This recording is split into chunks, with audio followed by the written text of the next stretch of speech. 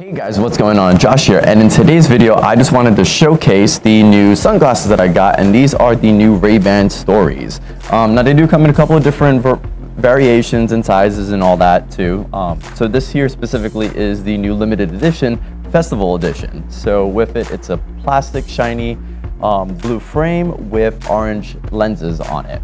But you can get this in a variety of other colors. There's a matte black one, there's a shiny black one, there's um, different styles. This is the Wayfarer, um, there's also the Meteor, and then there's one more that's out there too.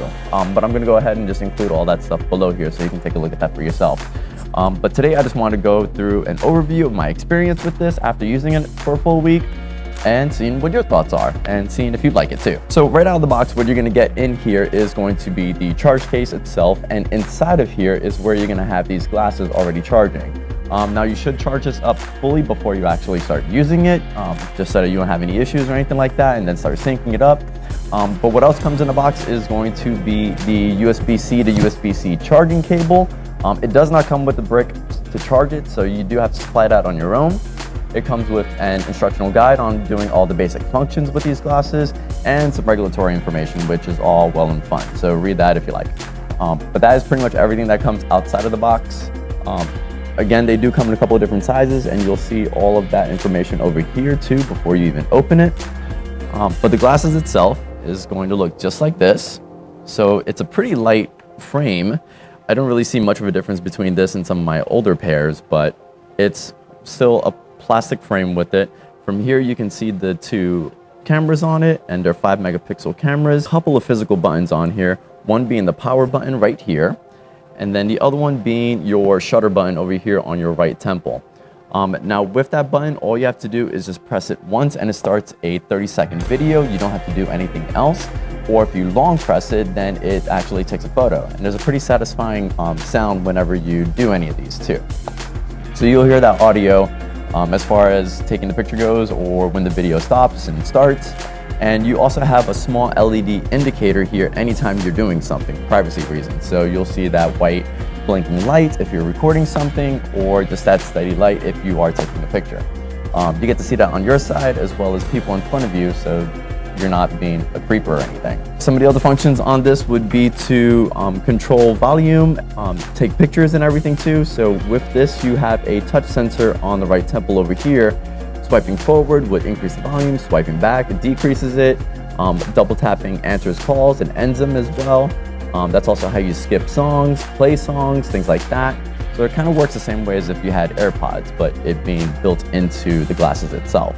Um, the way the speakers work on it is that you have a couple of speakers over here on the top on each side, and then you also have directional ones on the bottom here that's pointing straight towards your ears. So that is how you get to hear everything as far as music goes, and the quality on it's pretty good. Um, it's not stellar, but it's enjoyable. With that, you can also do phone calls too, because there's a couple of microphones on it. So with that, you can have a conversation, you can hear it. It's not very loud, so it's not as though everybody else in the room is gonna hear your conversation. It's fine. Um, the same if you're, you know, just walking around and everything too out in public. Um, with those microphones too, it also enables voice features on these glasses where you can say, Hey Facebook, start video. And that actually just triggered the glasses here and it's taking that picture now. When I have tried using that, I was testing out two pairs at the same time. So whenever I was trying to take a picture or do a video with my glasses, it also triggered the other ah. pair of glasses, and both of them were doing the same thing at the same time. So that was kind of comical. Oh, that's too funny. Um, so if you are in a room where somebody knows what these functions are, they can trigger it too without you doing it. So it's not tied to your voice specifically, it's just those words itself. As far as listening to music on it goes, there's different volume settings and everything with it. You get to adjust it from the glasses or you can do it from your phone or whatever device you're using to stream the music from. Um, in my experience, I don't like hearing it on full blast because then the music kind of gets distorted. When it's a few volume notches down, I can actually start feeling some of the bass and everything behind it. So that would be my recommendation. Um, the way the music kind of works on it is kind of like if you are hearing background music in a room or in an office or something like that. That's the easiest way I can put it.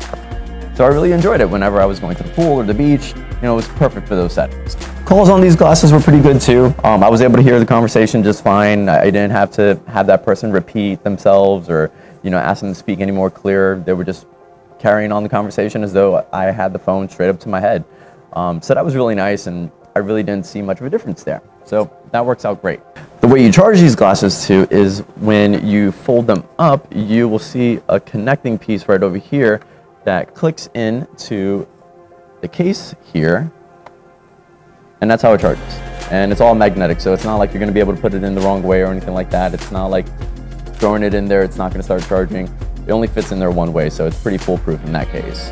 As far as charging the case itself goes, um, you have one USB-C port on the back here, and you can use any USB-C cable to charge it. So wherever you're at, it's pretty easy to top it off. Um, only takes a couple hours to charge it anyway.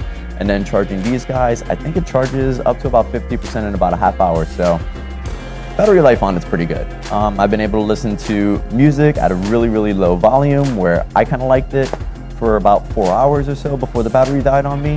Um, if you play the music a little bit louder, obviously that's going to kill the battery a little bit faster, but then that also distorts the quality of it. So based on your preference play it however you like. Um, the charge case itself was actually able to give my glasses maybe about six charges or so complete. So I didn't really have to charge this at all this week. Um, and I've been using them every single day. So it's really nice that I didn't have to worry about the battery on it. With the cameras that's on it, it's using two cameras um, on left and right hand side there. And they're five megapixel cameras. So they're not the top notch best cameras out there um, compared to using your phone or anything like that. But for its location and its ease of use, it's amazing. So I don't have to worry about like missing out any moments because all I have to do is just go up to my temple, hit that button, and then it records everything right then and there. I don't have to worry about pulling out my phone, missing it. it takes too long for me to open up my camera app, switch over to the video mode, or if I'm trying to take a picture, whatever the case may be, and then that moment might have already passed. It only does quick 30 second videos. Um, you can stop it a little bit earlier if you'd like to, um, but that is also so that it's not constantly recording everything that's around you for privacy reasons, because that would just be weird too. Um, as far as the videos go on this and the photos, they are going to come out in a square format, so you can post that on social media. That's pretty much the main reason why people get this anyway. So you can share your experience and what you're doing in the moment. Um, it's going to record up to 30 frames per second in case you're a video snob like I am. So as I mentioned before, the glasses do come in a couple of different variations, different styles, shapes, sizes, colors, all that jazz. So down below, you're gonna find a link so that you can take a look at that yourself. But with that too, you can also add different lenses to this. Um, you can also add prescription lenses right off the bat too, if you like. They all come with a one year warranty. What I did was just got the base pair, didn't add anything to it or anything like that, but I'm gonna wait until that warranty's up and then I'm gonna switch out the lenses and add my own transition ones. Uh, since you void the warranty if you make any changes after you buy it. So I'm gonna wait until that expires and then I'm gonna go ahead and make that change. If you did find this video helpful, leave a comment down below as far as which glasses you like the most. If you already have these, tell us what your thoughts are on them. Um, give this video a thumbs up because that really does help me out and take a second to subscribe because it's free anyway, so what's the harm in that? Um, if you like content like this, you're gonna see a lot more of it, so click the bell for notifications if you like that, but I hope to see you guys in the next video.